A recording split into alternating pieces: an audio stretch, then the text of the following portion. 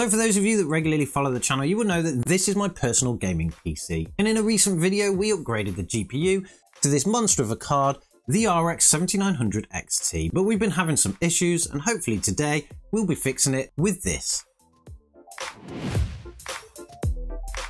Now for those of you that watched our last video on the upgrade that we did to this machine with the Radeon RX 7900 XT, you will know that we have a little bit of a problem called a bottleneck. Now for those that don't know what a bottleneck is, in simple terms it's when a specific component or multiple components in a system are too slow and hold other components back from getting their full potential. Now in our system we have a slight bottleneck on the CPU and what that means is that the CPU cannot feed enough data to the graphics card. So the RX 7900 XT just doesn't have room to breathe. Now we are getting exceptional exceptional results from the RX 7900 XT. It's way better than the graphics card we had before, but it clearly isn't performing as well as it could. So we needed a new CPU to be able to unlock it. Now we didn't want to upgrade the platform because it can actually be quite expensive and the AM4 platform is perfectly fine for modern gaming. So we reached out to a couple of friends and other tech tube channels and we asked them what was the best upgrade that we can make. And our friend Chris from the Good Old Gamer YouTube channel, make sure you check them out if you want to see the kind of things that he gets up to there, recommended this CPU as part of one of his live streams. Now this is the AMD Ryzen 7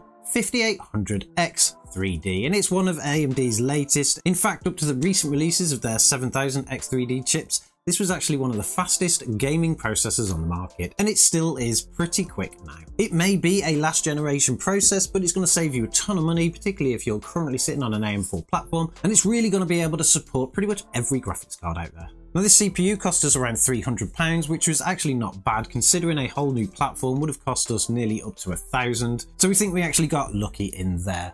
The CPU we've currently got in this system is a 5600X and it clearly isn't cutting it. It is a 6 core 12 thread processor whereas the Ryzen 7 5800X3D is an 8-core 16-thread processor. Now obviously when it comes to gaming, those cores and threads are not really going to make much of a difference, and to be honest, when it actually comes to our synthetic benchmarks, you'll see that it doesn't look as impressive as it should. Running a couple of Cinebench tests on both of these CPUs, we can see that in multi-core, obviously the Ryzen 7 outperforms the 5600X by quite a bit, and that is not unexpected because obviously we've got more cores and more threads to play with. But then when it comes to the single core, it's the other way around. The 5600X outperforms the Ryzen 7 and that's because of its higher clock speeds. But that is not the selling point of the X3D chips. Obviously synthetic benchmarks using something like Cinebench doesn't test the gaming performance and these are actually fantastic for gaming due to their 3D stacked Now to find out how well this CPU actually will perform over the 5600X, obviously we needed to do some gaming benchmarks. And to do that, we needed to get the CPU installed. Now if you're going to be making an upgrade like this, obviously most of the platforms will support it. Even some of the older A320 boards will support some of the latest processors from AMD, particularly in the 5000 series. The board we have in this system is a B550 and it is perfect for a 5800 X3D upgrade. But we did need to do some work to it first. The first thing we needed to do was update our BIOS, and because the BIOS on this motherboard was a little bit old anyway,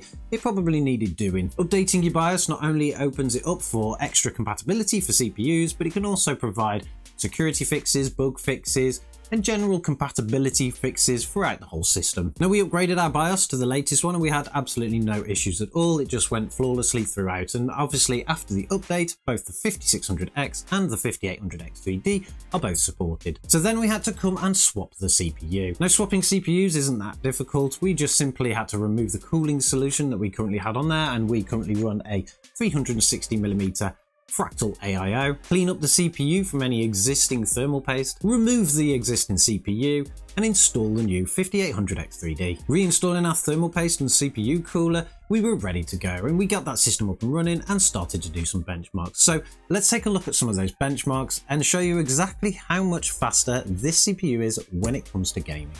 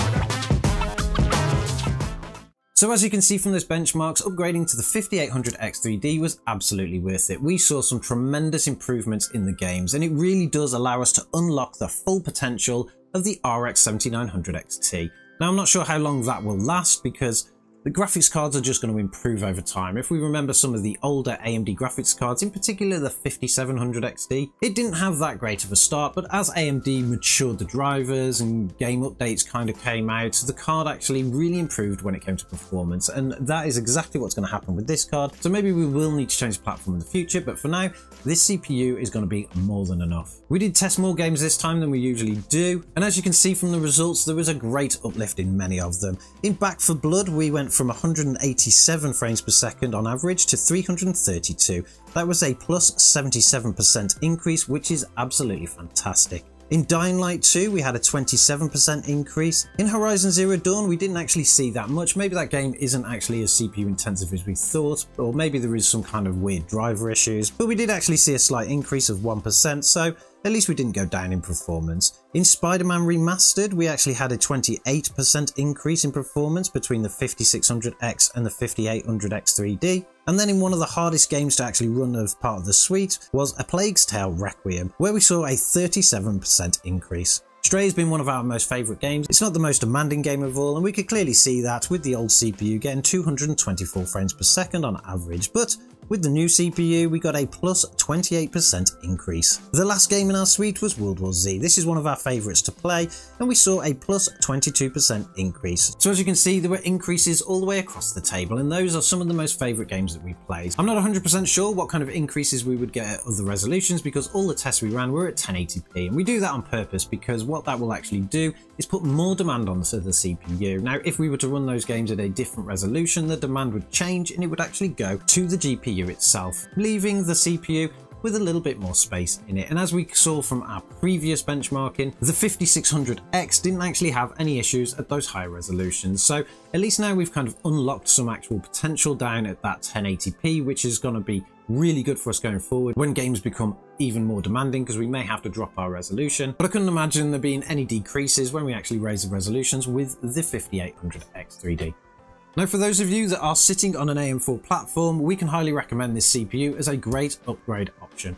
It is currently running at about £300 if you purchase from Amazon here in the UK, and I'm pretty sure that it's around the same price on other websites as well. This CPU is only ever going to get cheaper with the new ones coming out, so it's going to make a great upgrade potential for many different people because there are plenty of AM4 systems out there. So make sure you check it out if you are going to look to upgrade. This system is now actually going to be returned home. It's been in the studio for a few weeks now, and I really want to get it home to get gaming again. There are some new games coming out soon that I really want to play, in particular Dead Island 2. I can't wait for that game to come out. It's been a long time waiting and I really want to play it. But let us know in the comments below, do you currently run a 5800X3D or is it something that you're looking forward to upgrading to soon? Don't forget to subscribe to the channel if you like this kind of content and we'll catch you in the next one.